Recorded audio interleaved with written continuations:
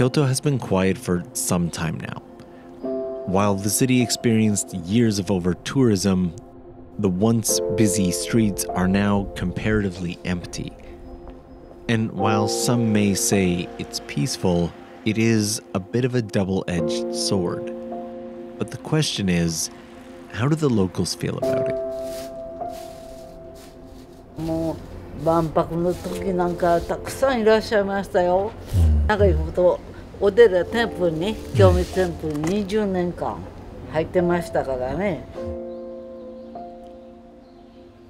もうなんか人がいるのが京都みたいな感じにも認識がなってたので私とかより年齢層がちょっと高くなると、まあ、その昔の静かな京都を知ってる分ここら辺かって40年前ぐらいというかここ静かなもんでしたからこんなね歩く人もそんななかったけど。うん、40年以上前の京都、うん、なんかちょっとあの頃は子供だったけど懐かしいなみたいなねなんか懐かしいですね、ええ Almost everyone I spoke to started by reminiscing, as if it had become the standard icebreaker to conversations. And after taking a little time to reminisce about the way that Kyoto once was, most conversations shifted towards talking about the positives. まあ仕事としては落ち着かんけどまあ京都市としてはいいんちゃうかなと思って京都としてはね普段のその通勤とか、まあ、ちょっと出かける時も、まあ、少なくなったのはまあまあ嬉しくもないけども、まあ、楽さはあるなそのバスとか乗り降りのしやすさもまあ、座れるようにもなったし。回りたいけどそのバスとか電車も混んでてなかなか進めないとかもあったので。今は歩きやすくていいですね。あまり人が多すぎてもね歩きにくくなって駐車場もすぐいっぱいになっちゃって車を求められないので。驚いたのが平安神宮で600円払うとお庭が見れるんですけど、はい、エクスクルーシブ。誰もいない。1人でした本当さっきまでずっと1人で橋があるんですけどあのいつも誰かがいて写真撮る時誰か入るんですけど、はい、今回びっくりしたのは誰もいない平安神宮。うん静かな京都っていうのはね今本当に味わえるなって。But the unfortunate reality of this situation is that it's not all positives, especially in a place like Kyoto where the lives and livelihood of so many are based around people visiting. まあでも反対にその今嵐山でアルバイトしてるんですけど、やっぱり外国のお客さんがいないと売り上げがガタッと落ちてしまうのでうん店側と自分が回る側とはちょっと気持ち半分半分っていう感じですねやっぱその観光客とかまあそんなんも減ったしそれでちょっと仕事が苦戦してる友達とかもおるから一概にも喜べへんし。まあまあ。ガラッとしてますし、お店も閉まったところも多いしね。みんなかわいそうですわお商売してはると。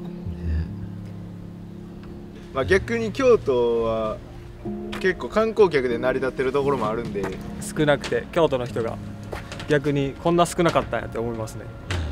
みんな困っておられますよ本当に外国は出られないしね Through all the people that I had the opportunity to speak with, it was comments like these that really hit the hardest. This woman was 82 years old. 82歳ですよ and as you can probably tell, was very energetic, but was saying that this year was planned to be one of her last years for travel, and that that was taken away from her. In all fairness, though, not everybody I met had the world traveler mindset. Many were understandably tied to Kyoto and its traditions. いやもう年やから買い物とお医者さんぐらいか出ないけど、ここで生まれて育ったらやっぱりねここがいいわそれはあのやっぱり来 ていただくのはありがたいけどもと言ってやっぱこわごわっていうものはやっぱり拭いされないもんですからあのお参りのところやからそういっぱいになって歩いてもこの狭い段々やからねいっぱいになって歩いてもうたりしたら大変な 危ない時もありましたよ。でもあまりにも静かなのはまたなんですし難しいところですよ。来てほしいけどもやっぱりね。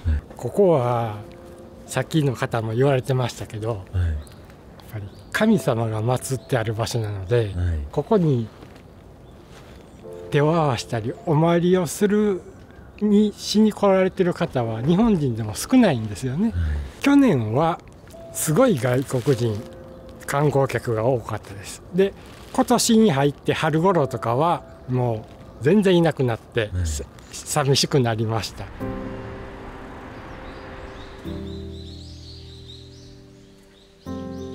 やっぱりなんか寂しいというか街もね人少ないのでなんか物足りないなみたいな感じはしてます。いややっぱり寂しいですよね賑やかなところあれやとね。うん。寂しいですよ。やっぱり人通りが少ないことはねやっぱりこんな時期やったらほれ紅葉もねいろいろもみじでね色鮮やかで綺麗なんやけど人通りがないの寂しいですよ。えー、寂しいですね。そうですね。違和感はありますね。もちろん戻ってほしいです。やっぱ戻ってほしいのもあるしあとは外国人の人と触れ合いたいですねいろんな人が来て盛んになってほしいです、うん、僕もそうですね。一緒ですね。ありがとうね。ありがとうございます。だから何かねあの外国の方いらっしゃったらねまあお茶の人でもね差し上げたいような感じです、うん、本当に。大事にしなきゃね。ね。ああ